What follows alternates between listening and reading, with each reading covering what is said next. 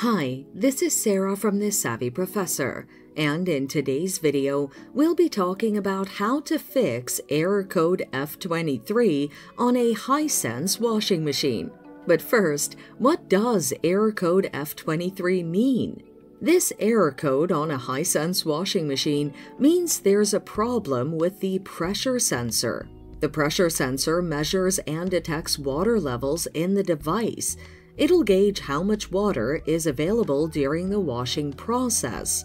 The following are some of the common causes of this error. Dirty air chamber.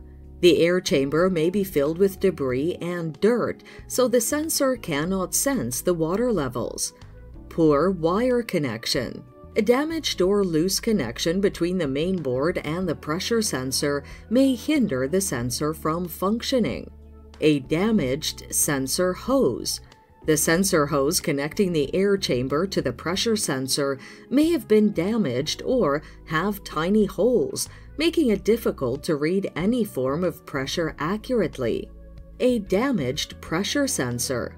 The pressure sensor may have suffered damage and cannot detect water levels. A damaged mainboard.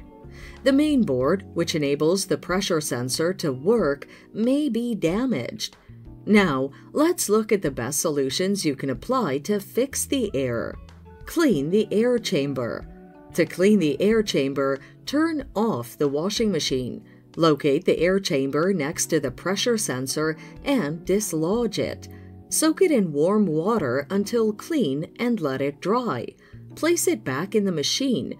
Regularly clean the air chamber to avoid blockage. Check and fix connections. To fix wiring issues, find the wiring connecting the pressure sensor and the main board. Check for wires that are either loose or damaged. If damaged, consider replacement, and if loose, reinforce them. Ensure if you're not a professional to contact one. Replace the sensor hose.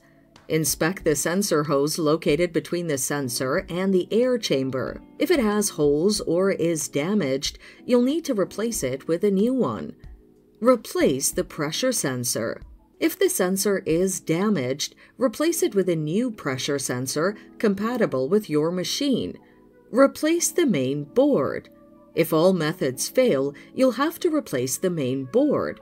For this to be possible, consider contacting a professional who can fix it.